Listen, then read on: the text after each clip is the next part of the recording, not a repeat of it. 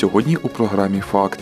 55 років Чернігівському тролейбусу. Як розвивався міський електротранспорт. Опалювальний сезон не для всіх. Чому на масанах нема тепла? У Чернігові помер народний художник України Володимир Ємець. Випробування гелікоптерів. Як тестували модернізовані Мі-2.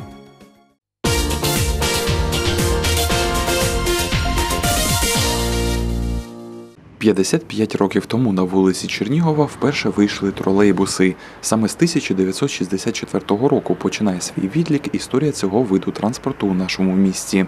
Перші тролейбуси відправилися в перший рейс а, 5 листопада 1964 року о 16.30 з Красної площі.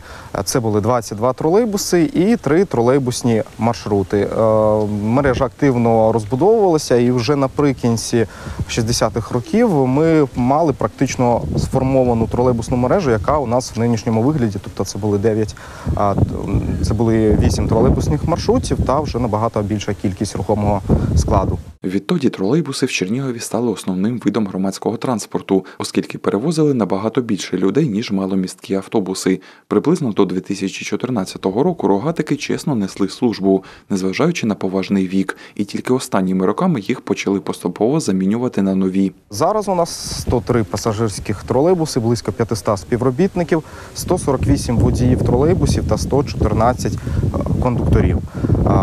За останні 4 роки ми поповнили парк, парк поповнився новими тролейбусами. Це 27 тролейбусів барвінок. Поява нових комфортних тролейбусів неабияк порадувала чернігівців, як і запровадженням маршруту номер 11, який поєднав Масани та вулицю Рокосовського. Но в зависимости какой троллейбус.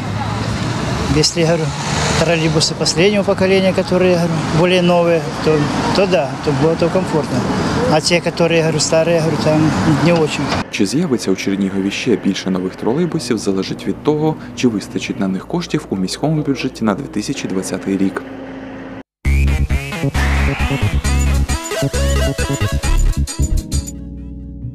Опалювальний сезон у Чернігові стартував 28 жовтня. От в деяких будинках на Масанах він ще не розпочався. У мене 13 градусів у квартири. На вулиці 14, мабуть, а у мене 13. А з якого моменту опалення? Ще не було. Ще не було Не підключали взагалі. З цього ж приводу на сторінку телеканалу у Фейсбук звернулися мешканці багатоповерхівки по вулиці Незалежності. Люди скаржаться, що в квартирі дуже холодно, однак на звернення до тепловиків ніхто не реагує. У нас взагалі його і не включали. Дитина переболіла, дочка переболіла, зараз я от болею. І дозвонитися невозможно туди. Ну, коротше, ми ходили в теплопункт, в ЖЕК. Це взагалі, ну, ніхто нас не чує. У нас навіть не включали. Потолки чорні, стіни чорні, все.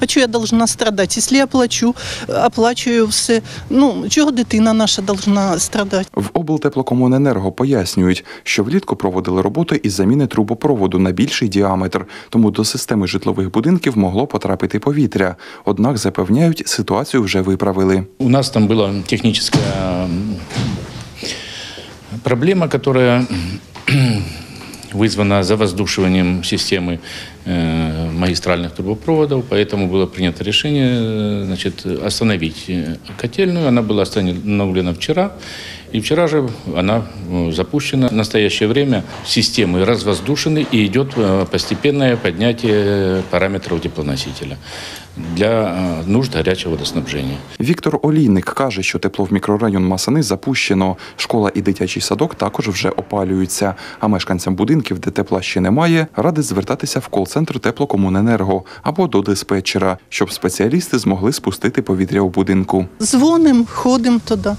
Э, У диспетчеру я вообще звоню каждый день, заявки подаю. Бесполезно. Ну, мы заявку подавали, и нам пообещали, что этот вопрос решится в ближайшее время. Хорошо, что погода терпит. Звертався до хол-центру, звертався, були включили, але два стояки так і залишались холодними на той час, а потім виключили все. Як повідомили в міському кол-центрі, з початку опалювального сезону до них на гарячу лінію звернулося понад 6100 осіб зі скаргами на відсутність тепла.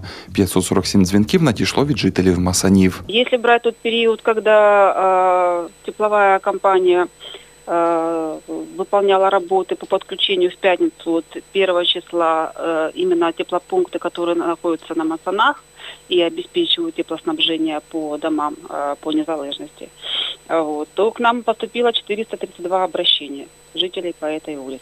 За інформацією кол-центру, в роботі перебуває 122 звернення. Тільки 5 листопада надійшло 28 заявок від мешканців мікрорайону Масани про відсутність тепла. 107% нарахованих сум сплачено мешканцями області у вересні за спожиті житлово-комунальні послуги. При цьому борги населення на кінець місяця все ж таки чималі. За постачання природного газу 391 мільйон, за централізоване опалення та гарячу воду 156, за утримання будинків та прибудинкових територій 54, за централізоване постачання холодної води та водовідведення 43, за вивезення побутових відходів 13, за постачання електроенергії 79 мільйонів. Борги три місяці і більше. За постачання природного газу мали 59% користувачів. За централізоване опалення та постачання гарячої води 35%. За утримання будинків і споруд та прибудинкових територій 20%. За централізоване постачання холодної води та водовідведення 11%. За вивезення побутових відходів та за постачання електричної енергії 10%, підсумовує Головне управління статистики області.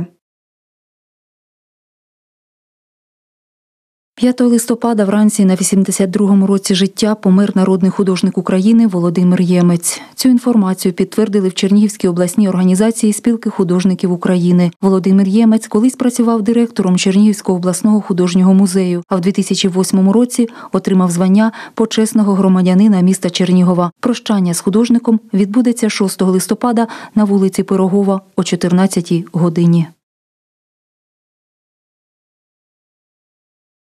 Успішно пройшов випробування вертоліт Мі-2 МСБ, оснащений некерованими авіаційними ракетами типу С-8, що проводились на Чернігівщині поблизу Гончарівського. Про це повідомили в інформагентстві Міноборони України Армія Інформ.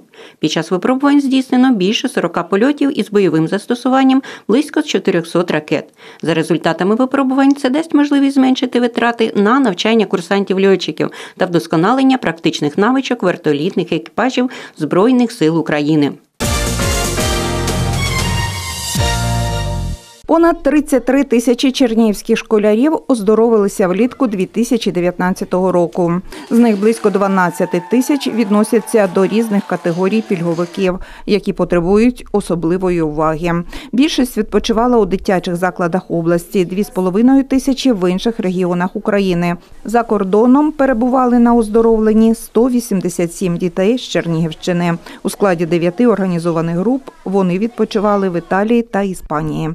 Середня вартість дня перебування у дитячому закладі відпочинку становила 43 гривні, а у закладі оздоровлення 266, інформує головне управління статистики області.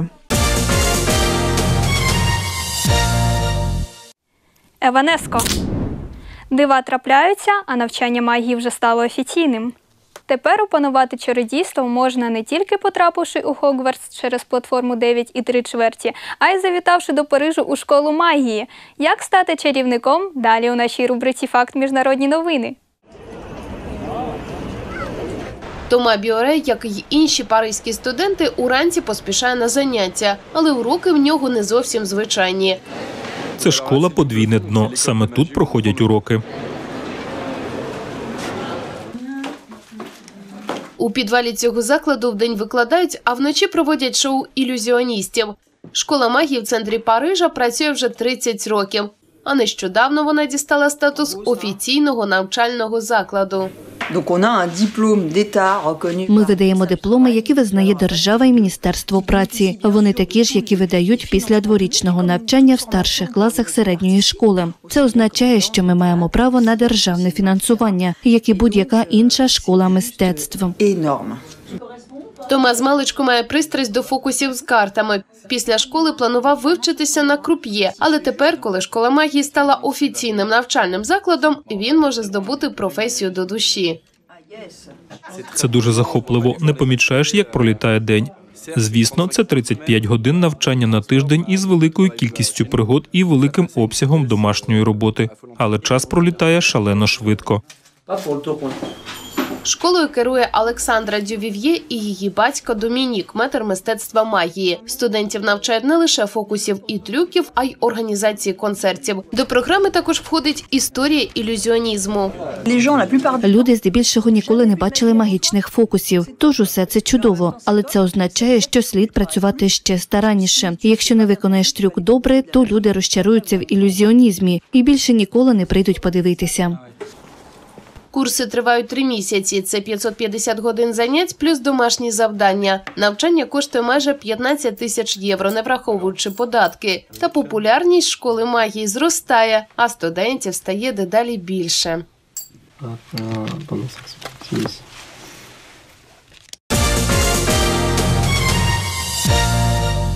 5 листопада у Чернігові. Міська тролейбусна мережа святкує своє 55-річчя. Саме у 1964 році на вулиці Чернігова вийшли перші рогатики. Це були 22 тролейбуси і три тролейбусні маршрути. Е, Мережа активно розбудовувалася, і вже наприкінці 60-х років ми мали практично сформовану тролейбусну мережу, яка у нас в нинішньому вигляді. В кількох будинках на Масанах опалювальний сезон досі не розпочався. У нас взагалі його і не включали. Дитина переболіла, дочка переболіла, зараз я от болею. І дозвонитися невозможно туди. Ну, коротше, ми ходили в теплопункт, і в ЖЕК. Це взагалі, ну, ніхто нас не чує. У Чернігові помер народний художник України, почесний громадянин Чернігова Володимир Ємець. Поблизу Гончарівського пройшов випробування вертоліт Мі-2 МСБ, оснащений некерованими авіаційними ракетами типу С-8. Здійснено більше 40 польотів.